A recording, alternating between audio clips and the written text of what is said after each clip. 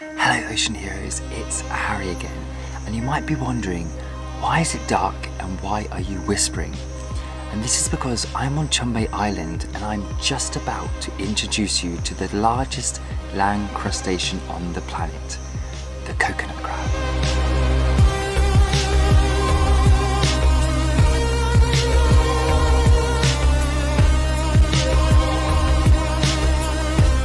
So let's be honest, I said raise your hands if you're a massive fan of crabs, I'm pretty sure there would be too many digits facing the sky. And maybe it's because they're not furry, they don't make good pets, and they're not particularly cute looking, but they are fascinating. Coconut crabs are scavengers, and although they'll pretty much eat anything, they love coconuts, and they're even willing to climb trees just to get them down. However, across the world their numbers are in decline as humans destroy their habitats and they're often used for food or even in some cases as fishing bait. For example, some fishermen, they're using the fishing beds. They collect the coconut crumb, crushing or grinding them, putting in fishing cage, like uh, fishing baskets. Because the fish like to eat coconut crab. So the fish, they're going to cage or to the fishing basket, and the fishermen can harvest a lot of fish. So their population, they drop down day, day after day. But here on Chumbe Island, they are protected. The rangers patrol the marine park to stop fishermen entering the island and their forest homes are free from deforestation.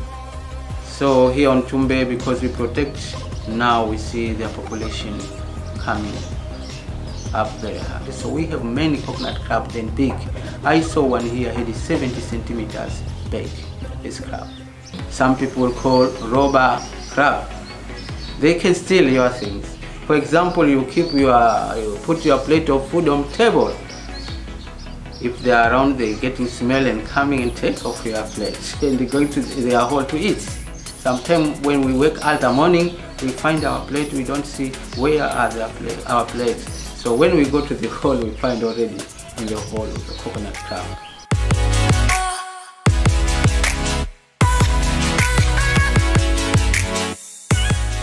That was great and kind of scary at times.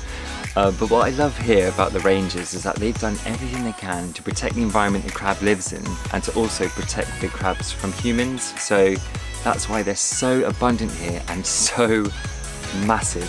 If you like this video about this curious creature, then stay tuned for more because I'm going to be documenting the lesser known, the more bizarre, or the simply beautiful creatures that our ocean has to offer. And of course, please continue to use our search engine to educate yourself more on the topic of coconut crabs. Help us to remove plastic pollution from the ocean and be the ocean hero we know you can be.